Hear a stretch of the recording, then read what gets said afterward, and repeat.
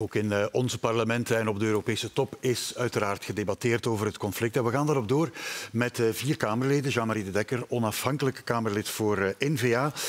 Egbert Lachaert, gewezen partijvoorzitter voor Open VLD. Peter Mertens, P van de A. En Wouter de Vriend, nog enkele maanden Kamerlid voor Groen. Meneer de Vriend, ik wou ook bij u beginnen en misschien even inpikken op dat toch wel pakkend getuigenis van mevrouw Al-Hassanat. Hoe komt dat bij u binnen? Ik denk dat wij nauwelijks zicht hebben op de vertwijfeling en de haat ook, denk ik. Hè? Ja, dat is, dat is niet te bevatten natuurlijk. Wij kunnen ons dat niet voorstellen. Dit is, uh, dit is wat een conflict doet met mensen. Dit is ook uh, hoe moorddadig uh, het, het, het, er op dit moment aan toe gaat in de regio. Die mevrouw is heel veel familieleden verloren. Dus uiteraard, uh, dit is iets wat wij niet kunnen bevatten als, als, als politici. Um, die tol aan burgerslachtoffers op dit moment is met geen woorden te bevatten en is, en is eigenlijk niet te rechtvaardigen. En natuurlijk heb je die ongelooflijke terreurdaad gezien van Hamas en Israël. We hebben die allemaal veroordeeld. Hamas is een terroristische organisatie. Maar de manier waarop Israël daarop reageert, moeten wij gewoon met z'n allen veroordelen. Ja. Wij moeten protest aantekenen. En ook ons land, België en zeker ook Europa, heeft daar een verantwoordelijkheid. Zo niet ja. verliezen wij onze morele geloofwaardigheid in de rest van de wereld. Maar dat viel mij wel op, hè, meneer Lachaert. Uh, zij heeft wel het idee, hè, met de Europese vlag op het, uh, Israëlische vlag liever op het Berlaymont-gebouw, ja, ook voor haar, ons land kiest te veel de kant van Israël. Dat is het sentiment dat bij haar wel leeft. Ik, ik, denk dat uh, Ursula von der Leyen en Joe Biden daar een zware verantwoordelijkheid in hebben. Die bij het uitbreken van het uh, conflict en, en, de vlag op, op het Europese gebouw is een Europees initiatief, geen Belgisch. Die twee hebben echt een kapitale fout begaan door van in het begin blind die kaart van Israël uh, te gaan trekken. Terwijl het regime van Netanyahu, moeten we helder over zijn, dat is een extreemrechts regime, die kapitale fouten gemaakt in dit, in dit verhaal. Die hebben de beveiliging verwaarloosd, waardoor die aanslag op 7 oktober kon plaatsvinden. En die beginnen zich nu politiek te revancheren door een hele burgerbevolking te bombarderen in Gaza om haar politiek gelijk van een keiharde havikenstrijd te bewijzen. En die strijd werkt niet. Haat levert alleen meer haat op. Bloed zal nog meer bloed opleveren. Dat is een eindeloze spiraal van geweld. Een kapitale fout om meteen de kant van Israël te kiezen. Meneer De Dekker, er was ook nog iemand anders, Bart de Wever, die toch ook heel helder de kant van het licht koos, om zijn woorden even te citeren. We zullen ze ook laten zien. Men mag denken over de complexe problemen van het Midden-Oosten wat men wil. Maar vandaag is er maar één kant om te kiezen. Dat is de kant van Israël. Dat is de kant van de democratie. En dat is de kant van het licht. Ook een kapitale fout om de woorden van meneer Lachaert te gebruiken? Uh, kijk, ik heb uh, begrip voor Bart, want hij staat uh, midden tussen de Joodse gemeenschap in Antwerpen op de dag dat dit gebeurt, van die verontwaardiging. En ik moet eerlijk zeggen, ik heb geen medelijden uh, indien men die beesten die, die 1400 mensen ook vermoord hebben of afgeslacht hebben, dat men ze op, zou ophangen aan de hoogste... U bedoelt Hamas daarmee? Uh, Hamas, ja. ja. Maar ja, je, hebt, je hebt er nog hoor, ja. want we kunnen hier een uur discussiëren ja. over de ingewikkeldheid van dit probleem. Ik heb daar geen enkel probleem mee dat die mensen gestraft worden. Waar ik een ontzettend groot probleem mee is dat er een volk is dat zelf slachtoffer geweest is van genocides. Die slachtoffer geweest is van pogroms. Die slachtoffer geweest is van ghetto's. Die nu die mensen opsluiten in een gevangenis. En dat ze nu bombarderen. Niet alleen bombarderen, uithongeren, ziekenhuizen bombarderen, schieten op ambulances. Ik begrijp dat niet. En ik zal die, ik zal die vreedheid nooit verdedigen. De disproportionaliteit maar van de straffen. Meneer De Wever zegt dat is de kant van de democratie. Ja, meneer, meneer De Wever heeft het recht om dat te zijn. Ik heb ook, kijk, mijn oordeel is gebaseerd op wat ik meegemaakt heb. Ik ben tal van keren in Israël geweest. Ik ben in de Gaza geweest. Ik heb gezien dat Israël in apartheidstaat is. Ik ben in Shabra en Shatile geweest, waar de Palestijnen, dat is dan in Libanon, ook een stuk uitgemoord zijn. Dat ze vandaag ook geen rechten hebben. Dat ze de zwerfkatten zijn van het Midden-Oosten. Ik heb het gezien met mijn eigen ogen. Ik heb gezien, of, uh, gezien hoe ze zelfs in de westelijke Jordaan, over hoe men die muren opgericht heeft, hoe dat een, ja, een apartheidstaat geworden is. En ik kan het niet verdedigen. Ja. Hoe ziet u dat, meneer Mertens? Want wat mevrouw Al-Hanas ook zei, ja, Hamas is een terreurbeweging maar wat op 7 oktober is gebeurd, is wel een daad van zelfverdediging. Zou u ook zo ver durven gaan? Nee, ik denk uh, het uh, doeltreffend proberen te viseren van onschuldige burgers, dat is een oorlogsmisdaad en dat is terreur. En dat geldt voor 7 oktober, Maar dat geldt ook voor wat er sinds 7 oktober is gebeurd. En dus als we over terreur spreken, dan moeten we het ook over staatsterreur hebben. En wat er gebeurd is sinds 7 oktober. En met name de afgelopen drie dagen om 2,3 miljoen mensen te omsingelen, om die te bombarderen, om die zonder voedsel te zetten, zonder brandstof te zetten, zonder water te zetten, zonder communicatie te zetten, vervolgens te bombarderen, geen communicatie mogelijk te maken. Dat is een oorlogsmisdaad en dat is terreur. En Netanyahu zou moeten vervolgd worden door uh, tribunaal van Den Haag voor oorlogsmisdaden. Men kan niet het ene veroordelen en het andere niet. En die ja, moeten de mensen, moeten de leiders, politiek en militair van Hamas ook dan veroordelen? Alle oorlogs, inderdaad, dat klopt. Alle oorlogsmisdaden moeten veroordeeld worden. En ik herhaal alle. Iedereen die burgerslachtoffers viseert in die oorlog. Maar op dit moment gaat het over het staatsterreur, de staatsterreur van Israël. En daar kan men niet rond. Want die oorlog is vandaag niet op 7 oktober eh, begonnen. Dat heeft eh, Nadia ja. straks ook gezegd. Men is al langer bezig met de bezetting. Men is al langer bezig met een apartheidstaat op te richten. Men is al langer bezig met de kolonisatie. Uh, en nog één zaak. In de westelijke Jordaan-oever, zij heeft dat ook gezegd, Nadia heeft het ook daarnet gezet, in de westelijke Jordaan-oever die bezet is, daar is geen Hamas, maar daar is wel apartheid, daar is wel kolonisatie, er zijn wel raids, gisteren nacht nog op de westelijke Jordaan. Er is geen militant van Hamas te bespeuren. Dus het gaat niet in, alleen over Hamas, het gaat over een apartheidsregime, een bezittingsregime en een kolonisatie. Meneer Vriend, moet Netanyahu vervolgd worden als oorlogsmisdadiger? Evident, dat is een oorlogsmisdadiger. Israël op dit moment voert aanvallen uit waarvan ze zeer goed weten dat het de burgerbevolking treft. Dus dat is een oorlogsmisdaad. En die ene oorlogsmisdaad van Hamas rechtvaardigt de oorlogsmisdaad van Israël niet. Er is geen license to kill gegeven. Je kunt geen blanco cheque geven om te doen wat Israël op dit moment aan het doen is. Maar ik denk niet dat er gradaties zijn in het, in, het, in het kwaad en gradaties zijn in het treffen van de burgerbevolking. Op dit moment zijn de burgers in Gaza het grote slachtoffer. En het is dus daartegen waartegen wij protest moeten aantekenen. Want dit is, dit is niet iets wat wij moeten laten passeren. En er is ook geen excuus. En natuurlijk is er een breder verhaal. En het wordt hoog tijd dat we het bredere verhaal en die erkenning van de Palestijnse staat bijvoorbeeld op tafel leggen. Maar er is geen excuus voor hetgeen wat Hamas heeft gedaan. Moet Netanyahu vervolgd worden als oorlogsmisdadiger? Moet onderzocht worden. En ik denk wel degelijk dat er hier sprake is van oorlogsmisdaden langs beide kanten. En niet, dat zeggen wij niet, wij niet, maar de VN zegt dat. Als meneer Gutierrez dat zegt, zij zijn ter plaatse en zij stellen dat vast, dan is dat toch een bron die ik geloof dat er effectief sprake is van oorlogsmisdaden. Ik wil nog even terugkomen op wat we daarnet zeggen over dat eenzijdig kiezen van Israël voor Israël door bepaalde belangrijke figuren. Als we dit willen oplossen, want ik denk dat we het eigenlijk eens zijn over wat er gebeurt, maar als we dit willen oplossen, gaan we ook Arabische landen nodig hebben die samen met Israël een conferentie tot vrede kunnen maken. Europese landen kunnen daar een rol in spelen en wij als België kunnen daar een voortrekker in zijn. We hebben voorgesteld op het Europees toneel om een vredesconferentie hier in Brussel te organiseren. Dat is iets waar we naartoe moeten, maar we hebben Arabische landen nodig en je gaat die Arabische landen niet overtuigen om mee te gaan als bepaalde Europese landen en de VS enkel de kaart van Israël trekken kritiek is ook een beetje op de premier dat hij vooral al uh, Israëlische delegaties heeft ontvangen en nog altijd geen mensen die uh, ook, zoals Nadia, getroffen familie hebben in Palestijns gebied.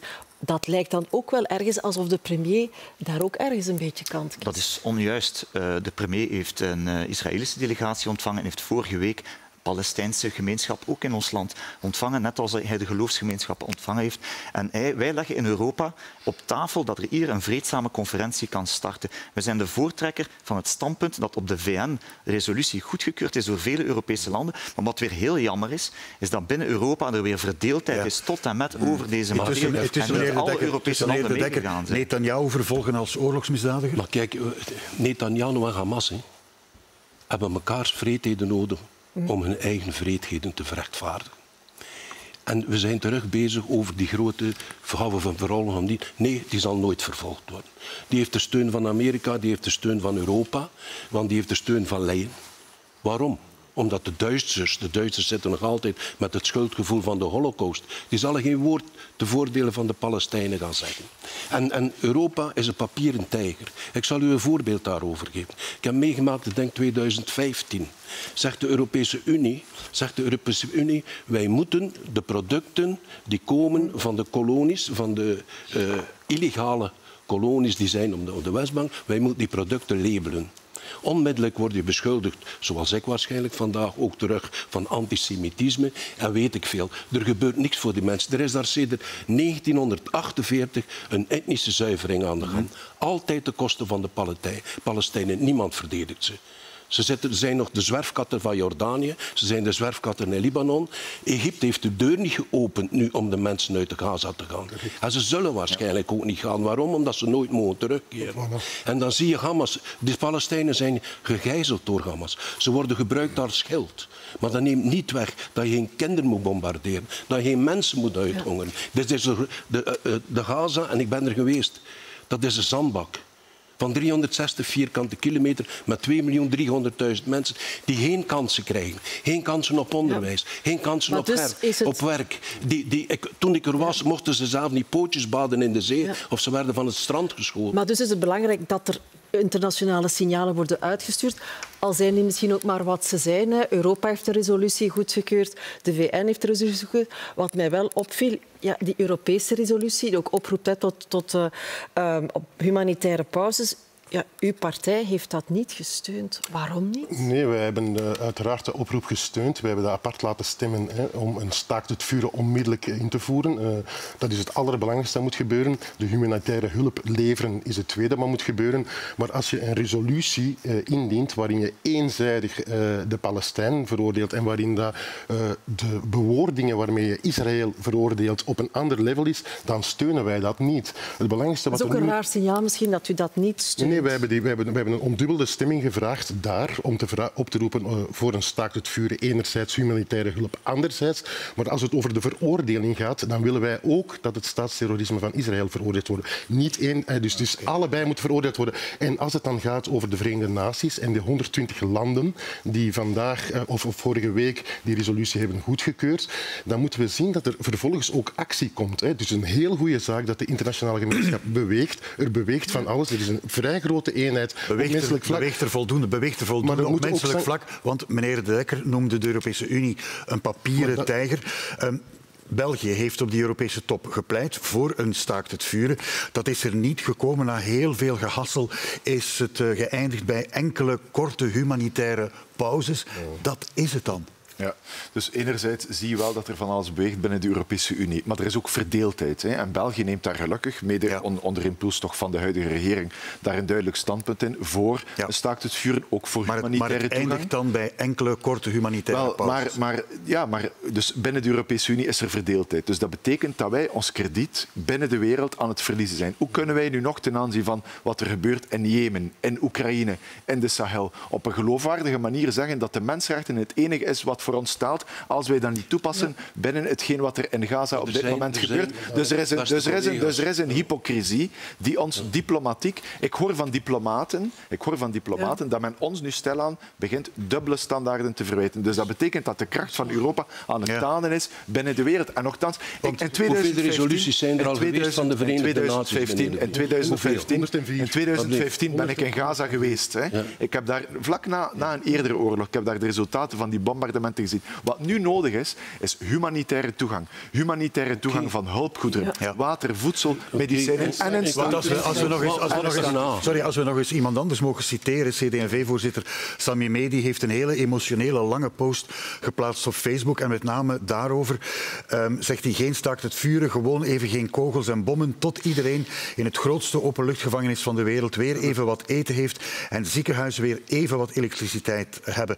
Daarmee gunt de Europese Raad de slachtoffers van morgen nog een laatste avondmaal en een verlicht ziekenhuis terwijl hun kaars uitdooft. Dat is Europa. Ja, maar dat is onvoldoende. Hè. Dus nee, maar dat is wel wat... Het zijn veroordelingen. Hij vindt dat het niet ja. genoeg gaat. Ja, ja, nee, nee, maar ik, ik, denk dat wij allemaal vinden dat initiatieven niet ver genoeg gaat. Maar het jammer is dat Europa kan een zeer belangrijke rol spelen moreel hebben gezag om dat te tonen naar andere landen hoe dat we moeten omgaan met zo'n conflict. Maar Europa maar zou ook economie, economische sancties kunnen afkondigen en doet dat ook niet. En daar gaat het, daar ik, gaat het weer. Ik heb juist dat voorbeeld gegeven. Alleen maar dat product labelen dat gemaakt wordt door de illegale kolonies, dit is al niet gelukt. Je wordt al van antisemitisme beschuldigd. Dat is Europa. Het zal niet van Europa komen. Totaal niet. Ik heb gezegd ook waarom. Ja, het zal van, Amerika van de Amerikanen zal het wellicht ook niet komen. Want die hebben gezegd, er is geen rode lijn voor ons wat Israël vandaar, vandaar, vandaar dat ik de- zo, laat ons depressief, depressief ben daarover.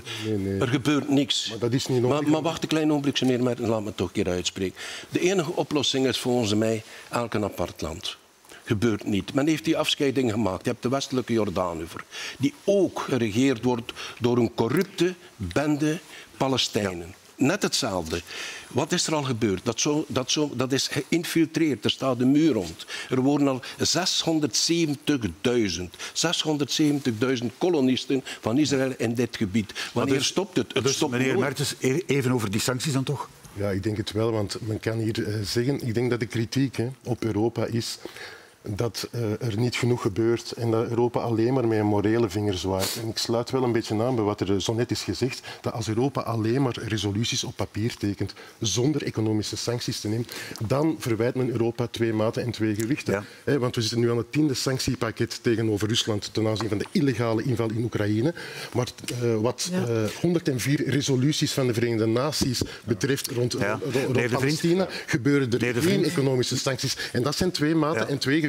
Dat Meneer is in mijn, eh, in mijn jonge tijd, heel lang geleden, boycotten wij sinaasappels uit eh, Israël. Ja. Nu gebeurt er niks. Er zijn op dit moment, als de aanvallen op eh, burgers doorgaan, dan zijn er sancties tegen Israël nodig. Ik ben daar, ik ben daar zeer helder in. Ehm, we hebben gelukkig een aantal hefbomen om dat te doen. Er bestaat een associatieakkoord tussen de Europese Unie en Israël. Eh, je kunt ook eh, bijvoorbeeld het in kaart brengen van wat er gebeurt. Het internationaal strafhof moet dat doen. België kan dat meer ondersteunen, zodanig dat we de oorlogsmisdaden langs beide kanten documenteren. En dan kunnen we ook zien wie geeft die bevelen Maar denkt u dat die Europa oorlogsmisdaden. zal overgaan tot we- een boycott van producten als ze nog maar tot een, een pauze geraken en niet Ja, eens maar België, België kan zelf ook veel doen. Wij kunnen in kaart brengen wie de bevelen geeft voor die oorlogsmisdaden. En dan ten aanzien van die individuen, bijvoorbeeld en het Israëlische leger, ook, ook sancties gaan uitvaardigen. Israël- heeft zelf- wij hebben- Israël met Amerika met gerechtshof- ja gerechtshof voor oorlogsmisdaden als ik- niet als ik- Als erkend ik ook in even de- mag uitspreken. We hebben met België, en toonde opnieuw de verdeeldheid binnen de Europese Ja. Unie, wij hebben een VN-resolutie goedgekeurd. Maar u zegt wel, we hebben België zelf kan ook alleen samen iets met een land doen. als Frankrijk. Kan dat, kan dat, een, idee zijn dat, kan dat een België. idee zijn dat België op eigen houtje al wat begint? Op eigen houtje is te klein, maar we hebben wel een morele autoriteit binnen Maar ik hoor meneer De Vriend zeggen dat België alleen ook iets kan doen. Nee, nee, we kunnen zeker iets doen, maar we moeten samen met de Europese landen doen die wel vooruit willen. En daar zijn we helemaal in, in Europa ga je dat dus niet uitraken. Jean-Marie heeft gelijk. Het is op zich een papieren tijger in dit geval. Een, een land als Duitsland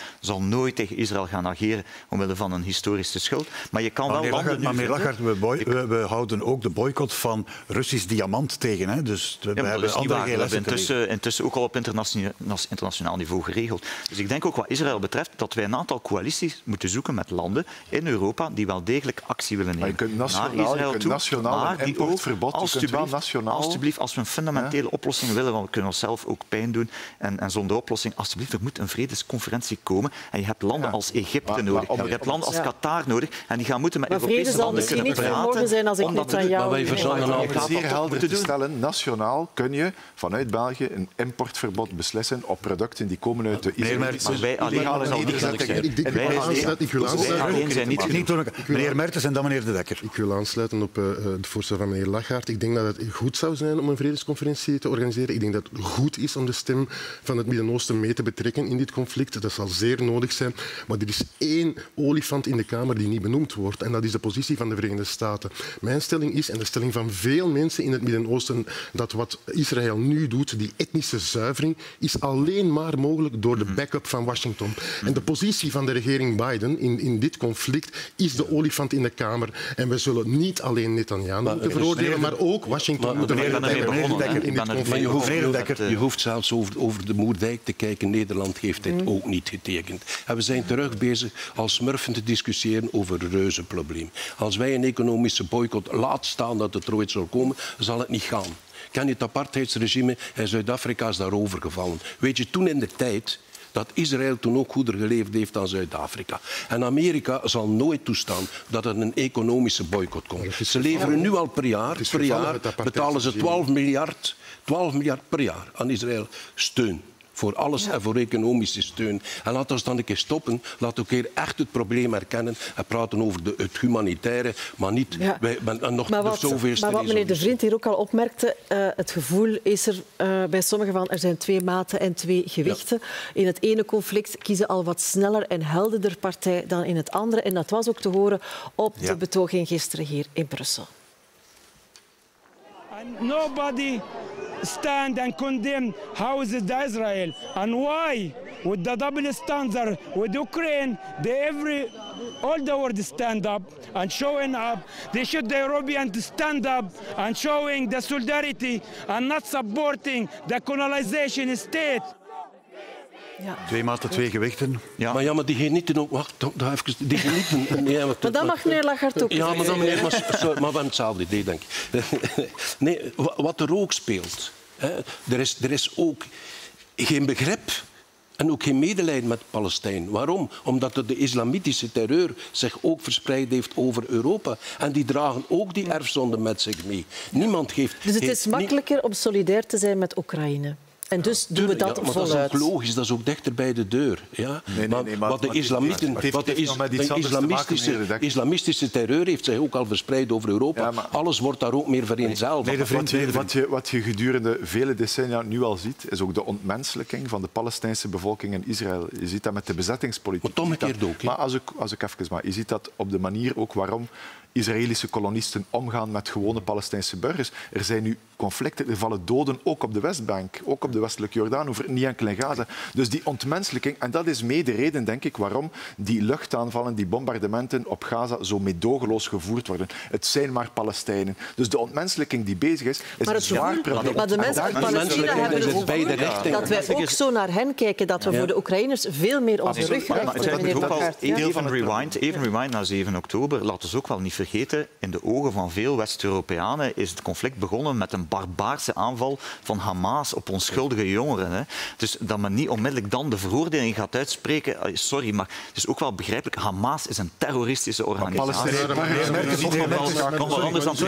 Meneer Mertens, meneer Mertens, om Maar dit af te daarom, ronden. maar, maar daarom denk ik dat het heel belangrijk is om toch wel de historiek van het conflict te zien. Hè? Want die oorlog is niet op 7 oktober begonnen. en de is secretaris-generaal van de Verenigde Naties heeft gelijk wat dat betreft. Hè. 16 jaar lang een compleet onhumane blokkade van Gaza van 2,3 miljoen eh, mensen. Vier oorlogen in Gaza voor 7 oktober. 4000 burgerdoden voor 7 oktober. Nu al 8000 doden, met, waarvan de helft kinderen. Dus het is een ruimer conflict. En zonder de apartheidsdiscussie, eh, zonder de apartheid te beëindigen en de kolonisatie te beëindigen, zal dit niet eindigen. Maar we moeten afronden. Meneer ik- op meneer 7 Lagarde, oktober is natuurlijk ik ook zag- al een daad gebeurd die u ook Ja, veroordeelt. u- En een regime Hamas Ja. is iets anders dan een regime Zelensky Ja. gaan steunen. Ja. Hè?